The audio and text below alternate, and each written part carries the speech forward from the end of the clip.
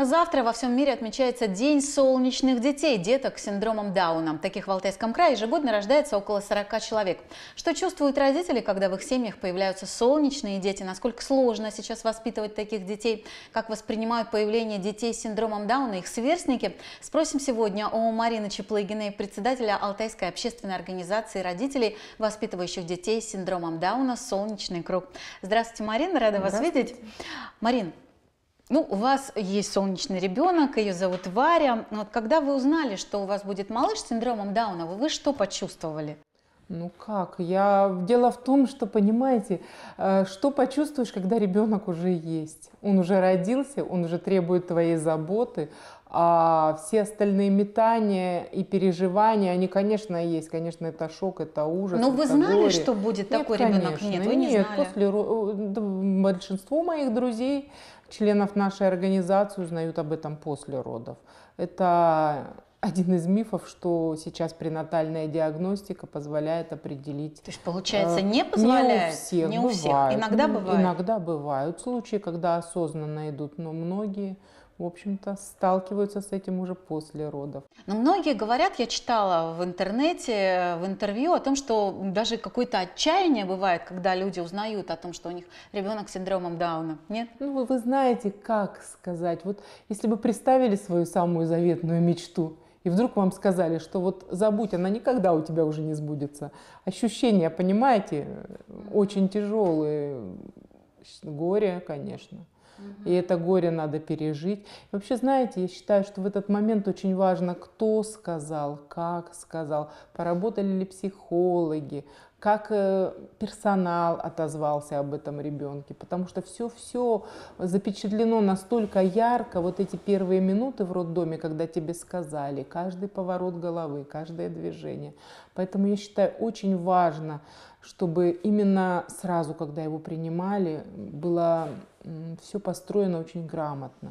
Потому что у детей с синдромом очень многое зависит от э, первого года развития, как его приняли, какие меры приняли. А мама в горе и очень долго, и иногда до 3, 4, 5 лет длится вот это переживание горя. Поэтому вот чтобы такого не было. А что-то изменилось в вашей семье? Потому что у вас же не одна Варя в вашей семье с ее появлением, потому что, по-моему, четвертый она ребенок четвертый у вас. ребенок. Как остальные дети восприняли? Ну, как сейчас относятся к ней? Вообще-то восприняли как данность, потому что дети понимают, что ребенок уже есть. Так же, как мы с мужем понимали. Вы понимаете, мне муж сказал, ну, мы уже все сделали, ребенок есть. Мы не можем что-то сейчас предпринять, чтобы этого не было. Он есть. Поэтому мы должны сейчас построить свою жизнь так, чтобы э, ну, дать этому ребенку все, что мы сможем. А детям папа, я как сейчас помню, он их собрал, сказал, вот у Вари такой диагноз.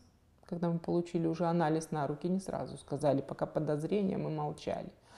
У Вари такой диагноз, это то-то и то-то.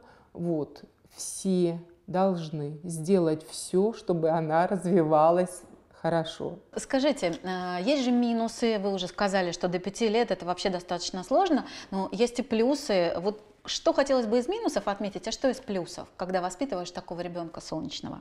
Я не знаю, что значит минусы, плюсы, понимаете? Минусы это, наверное, Конечно, что, может, чаще болеют. Воспитание любого ребенка. Ну да, боле... заболевания, если какие-то дополнительные заболевания, но это опять же с любым ребенком. Конечно. Ты будешь решать в первую очередь проблемы здоровья. А если проблемы со здоровьем решены, как с любым ребенком. Ребенка нужно воспитывать. Ему так же, как любому, его нельзя избаловать. Он должен понимать границы, он должен э, войти в социум, он должен научиться общаться. Ну, Любого ребенка этому учат.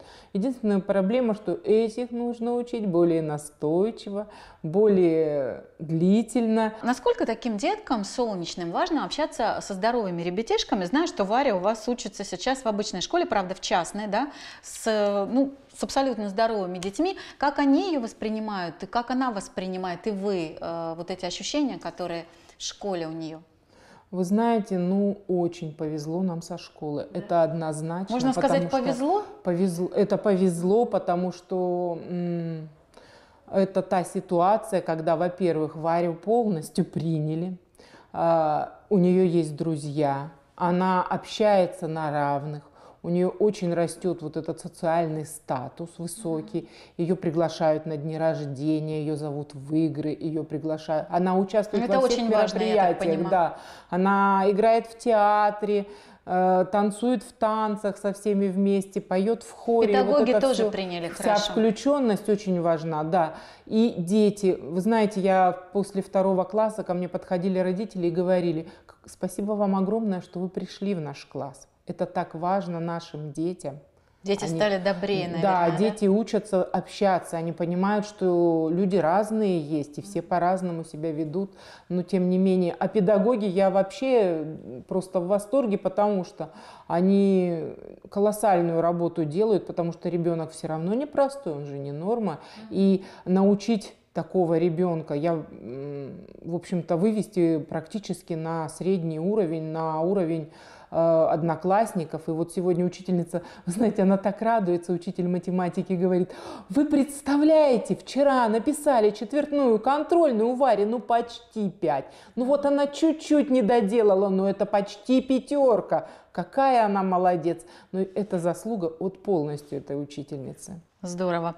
А вот э, какая, на ваш взгляд, как руководителя организации, куда приходят родители и дети, основная проблема э, в семьях, э, где есть солнечный ребенок? С какими к вам вот в организацию приходят проблемами? Не только же просто радостью поделиться, наверняка же проблемы. Нет, конечно. Ну, в основном есть много проблем со здоровьем. А основная проблема, если отложить здоровье, потому что это медики, медицина, у нас тоже тут есть вопросы, но основная проблема это, конечно, логопеды, дефектологи, развитие, потому что бесплатной помощи, в общем-то, доступной не так много, получить ее не так легко, как рисуют наши руководители. И очень часто, чтобы качественного логопеда, качественного дефектолога найти, семья, во-первых, далеко возит ребенка, ищет нет поблизости в шаговой доступности, а во-вторых, конечно же, платит большие деньги. Ну вы помогаете, удается решить, да? Ну, мы стараемся помочь, но деньгами и занятиями, конечно, нет. Оплачивают сами. Потому что если у нас вдруг появляются какие-то деньги в солнечном круге, мы же не коммерческая организация, нам спонсоры помогают на какой-то конкретный проект. Вот у нас был проект с, Алтай, э, с нотариусами, нотариальная палата краевая. Они нам целенаправленно выделяли небольшие суммы, чтобы мы могли сделать детям логопедический массаж. Потому что это для семьи очень затратно и очень результативно. Часто собираетесь, э, вот, э, Собираемся родители и дети? Мы собираемся часто, мы дружим с семьями, мы устраиваем праздники. У нас в субботу прошел большой-большой праздник. Э, На нем присутствовали все возраста, от самых-самых малюсеньких до уже взрослых. И на этом празднике выступали наши дети, и делились опытом родителей взрослых детей, и музыка, и рисование, и песочная терапия, игры с родителями. В общем, было очень весело, интересно. Мы вместе ездим отдыхать, мы встречаемся просто так за чашкой чая, мы можем созвониться и сказать, а давайте вместе куда-нибудь сходим, дети поиграют, а мы пообщаемся. Есть у нас это общение. Марин, ну вот накануне Дня солнечных деток, э, что бы вы могли сказать родителям, в чьей семье вот, допустим, только появился такой малыш? Вы знаете, надо этой семье сказать, что они получили талисман на удачу. Потому что, как бы там ни было, конечно, первое время кажется, что жизнь кончилась, а потом ты понимаешь, что этот ребенок меняет мир вокруг себя, отношения среди людей.